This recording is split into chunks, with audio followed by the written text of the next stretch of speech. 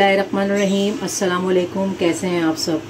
उम्मीद करती हूँ कि आप सब खैरियत से होंगे। मैं भी अल्लाह का शुक्र है, बिल्कुल ठीक ठाक हूँ, मज़े में हूँ।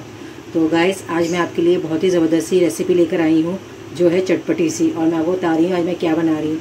आज मैं बना रही हूँ छोले की बिरयानी, छोले आलू की बिरयानी, जो बहुत ही ज़बरदस्त बनती है और बहुत ही सिंपल तरीके से बनती है। तो आइए मैं आपको बताती हूँ, इसमें क्या क्या इन्ग्रीडियंट्स शामिल होते हैं।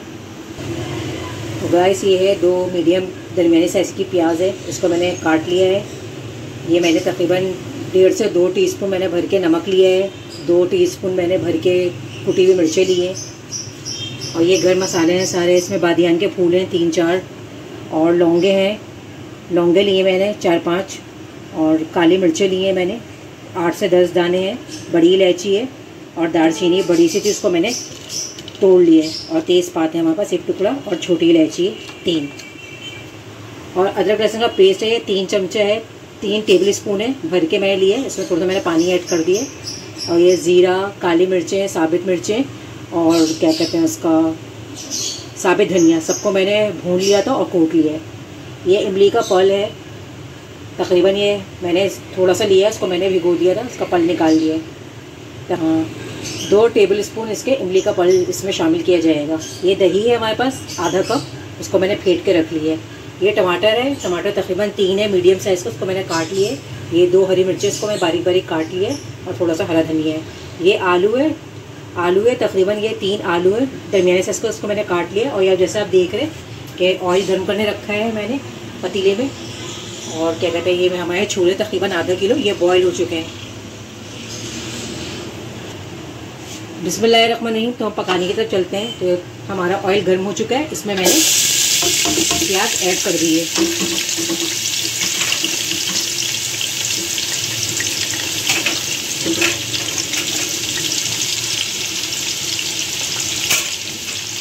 तो गाय साहब देख रहे हैं, मैंने इसमें प्याज डाल दिए और प्याज हमारी फ्राई हो रही है।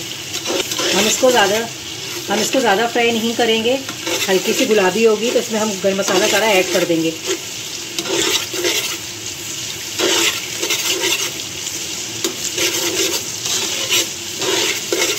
मैं प्याज को फ्राई कर रही हूँ। गाय साहब देख रहे हैं हमारे प्याज का कलर चेंज हो गया है। गुलाबी बना आना स्टार्ट हो गया है। अब मैं इसमें गर्म मसाला ऐड कर दूँगी। और दूसरी बात ये कि मैं आपको ये बताना भूल गई थी, मैंने छोले जो बॉईल किए हैं तकरीबन हमारे एक पाँव हैं। उसको मैंने बॉईल कर लिया है। और बॉईल करके मैंने इसको रख दिया है अलहदा। और चावल जो हमारे एक किलो हैं। मैं एक किलो की बना रही हूँ बिरयानी, आलू छोले की। ये देखें इसमें कड़कड़ा गया है, गर्म मसाला। अदरक लहसुन का पेस्ट शामिल करूँगी। बिस्मिल्लाह रखूँगी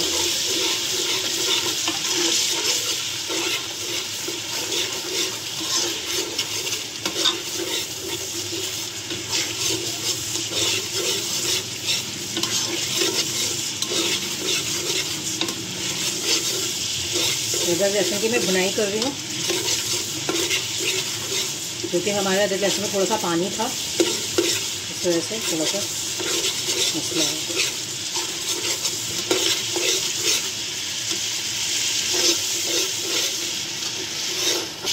तो गाय साहब देख रहे हैं कि इसमें अदरक लहसुन का पानी भी है तो इसमें मैं टमाटर ऐड कर दूँगी। और ये टमाटर का पानी और अदरक लहसुन का पानी, इसमें रखूँगी।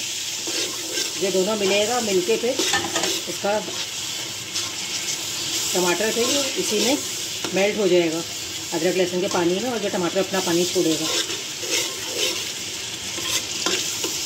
ये हम टमाटर को पाँच से दस मिनट तक पकने के लिए रखते हैं ताकि हमारे टमाटर जो है नरम पड़ जाए। उसके बाद मैं इसमें आलू ऐड करूँगी। दस मिनट के बाद टमाटर हमारे थोड़े से नरम पड़ जाएँ तो मैं इसमें आलू ऐड करूँगी और मसाले ऐड करूँगी। क्योंकि ये ये ज़्यादा मसाले वाली नहीं बनती है, सिंपल मसाले से बनती है। तो ये झटपट बन जाती है उतना टाइम नहीं लगता, और मसाले जो है इसमें वो भी ज़्यादा शामिल नहीं किए जाते। ये हमारे थोड़े से नरम पड़ते हैं टमाटर तो फिर मैं आपको बताती हूँ कि इसमें और क्या मैं शामिल करूँगी?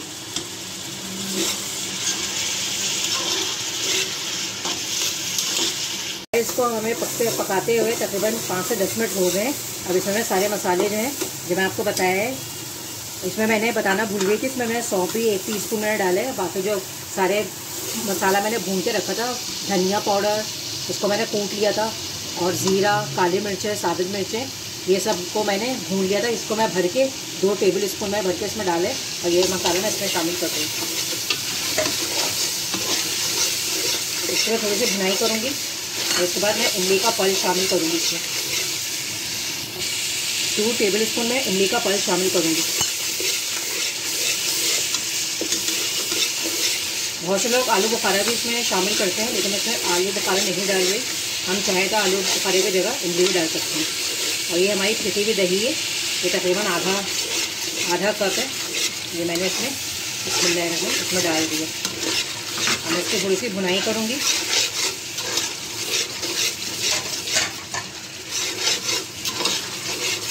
और चावल को मैंने भिगो दिया है। बासमती चावल है, इसको मैंने भिगो के रख दिया है।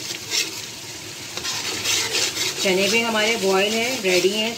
चने भी हमारे जब ये मसाला वो हो जाता है तो चना जो है क्योंकि बॉयल हुआ हुआ है एंड में शामिल किया जाएगा। और ये मसाला भुनने के बाद मैं इसमें आलू डालूँगी और फिर भुनाई करके पानी डालूँगी। आलू गलाने तक इतना पानी डालूँगी, एक गिलास।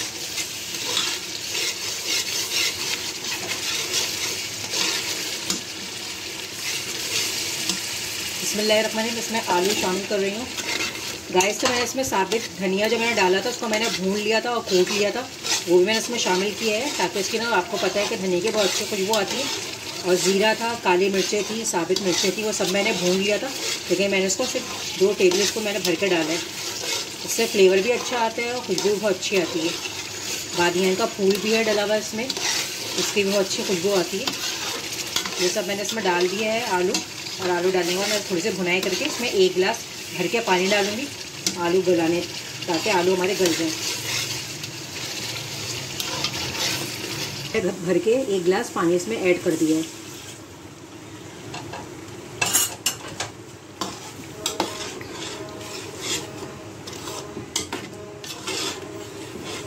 मैं इसको चला के अब इसको ढक्कन बंद कर दूँगी ताकि हमारे आलू गल जाए। गाय जब हमारे गाय जब हमारे आलू बॉईल हो जाएँगे तो इसमें मैंने आप, जैसे आप देख रहे हैं मैंने छोले बॉईल करके रखे हैं, वो मैं इसमें ऐड कर दूँगी। मसाले में और मसाले में ज़रा पाँच मिनट को भुनाई करके पकने दूँगी, ताकि इसमें भी सारे मसाले का फ्लेवर आ जाए। जैसे आप देख सकते हैं कि इसको पकते हुए पंद्रह से बीस मिनट हो गए और आलू हमारे गल चुके हैं। अब मैं इसमें छोले ऐड करूँगी। बिस्मिल्लाह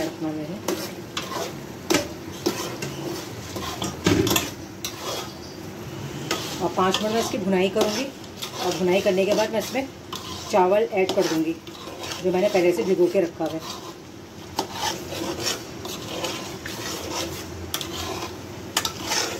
और हम इसमें खुशबू के लिए केवड़ा भी डालेंगे। इससे अच्छा फ्लेवर आता है खुशबू बहुत अच्छी आती है।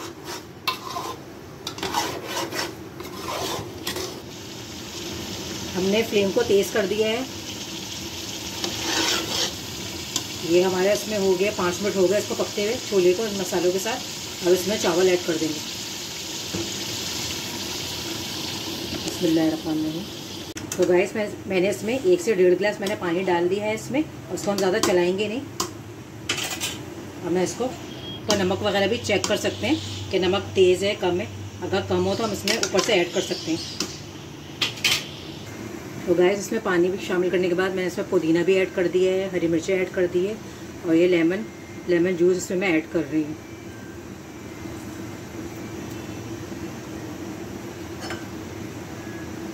ये लेमन जूस मैंने इसमें ऐड कर दी है। अब ये आप देख रहे हैं कि इसमें बॉयल आना स्टार्ट हो गया है। ये मैंने सारी चीज़ इसमें ऐड कर दी है, पुदीना, हरी मिर्चें, और नमक भी मैंने चेक कर लिया था। नमक बिल्कुल सही है। और देखिए बॉयल आना स्टार्ट हो गया है। और मैं इसका ढक्कन बंद कर दूँगी। गलने तक इसको चावल को पकाऊँगी मैं। तो आप देख रहे हैं कि इसका पानी ड्राई होना स्टार्ट हो गया है। अब मैं इसको दम पे लगाऊँगी और ऊपर से मैं इसमें जर्दे का रंग ऐड करूँगी। इस तरह से मैं इसको दम पे रखने के बाद ये इस तरह मैं इसके ना टमाटर वगैरह ये मैं ऊपर दम के साथ लगाऊँगी। ये मैंने टमाटर इसमें ऐड कर दिए, हरा धनिया, हरी मिर्चें और ये जर्दे का रंग डाल के मैं इसको दम पे रख दूँगी दस से पंद्रह मिनट के लिए।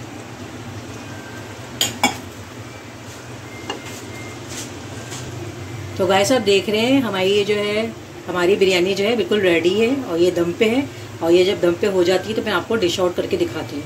आप देखें, हमारे चावल बिल्कुल रेडी हैं। और बिल्कुल दम पे दम पे हैं, बिल्कुल दम पे हैं, बिल्कुल रेडी है। मैं आपको डिश आउट करके दिखाती हूँ।